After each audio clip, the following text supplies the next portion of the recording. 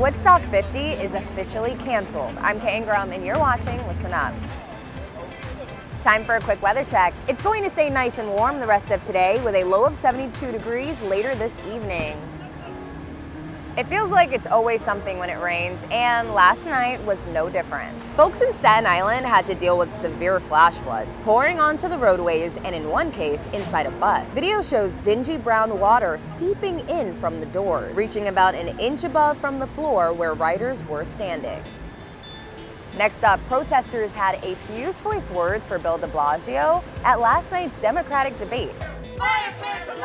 A group of disruptors called on the mayor to fire the officer. Officials have opted not to charge in the death of Eric Garner. Bill de Blasio woke up and made the conscious decision to allow Daniel Pantaleo to remain a New York City police officer. Well, looks like Woodstock 50 is officially over. Organizers have finally canceled the festival that was supposed to take place next month. Just last week, three performers, including Jay-Z, announced they wouldn't perform after the location moved from New York to Maryland.